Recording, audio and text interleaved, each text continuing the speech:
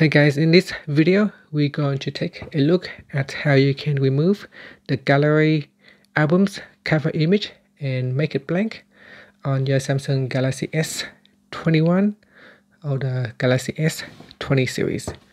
So first, let's go back to your home screen by tapping on the home button at the bottom of the screen. And on the home screen, open up the gallery app. In gallery, tap on albums down here and then tap on the more button at the top and choose edit. Next select the photo album that you would like to edit.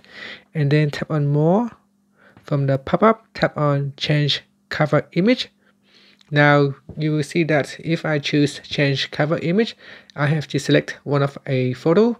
So I cannot um, make it blank. I cannot simply just remove. I have to select something so the way how you can uh, make it blank or remove an image and make it blank is what you do is you need to select a blank image.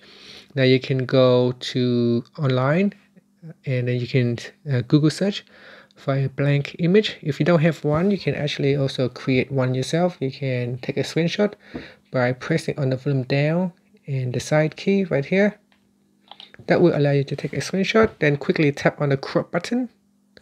And in here we're going to crop it. So I'm just gonna crop it like that. Just I swear. And you can also change the color of an image. Uh, by default we can choose it white. We can make it uh, red for example. So you can make it red. And you can just paint that image red if you like so there is no bucket so I kind of have to uh, uh, so I think I change a different color and then so maybe I can increase the pen size. So 100 percent. See if I can change it. I wonder what's this button here five pens so I'm just moving about right here. Uh, done. And just trying to see if I can change a different pen size so you can just kind of like make the image red. Now it is much easier if you go online and find an image like a blank image of the color uh, that, that you like. So here I have to I will basically make the box smaller. That's just a lot easier for me. And then I'm just going to save so you can see here uh, the screenshot is now has a red image. So to change for the albums one let's say album one I tap on the more button then tap on change cover image. And I'm going to uh, choose an image. Now it won't allow me to select an image outside of this folder.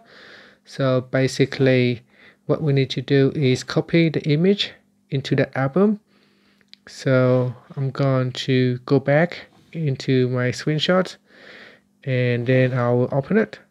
Then I'll tap on move to album and I'll move it to album 1 okay now that I have moved to album 1 what I do is I will select album 1 and then tap on more then tap on change cover image and then we select that one and then tap on applied.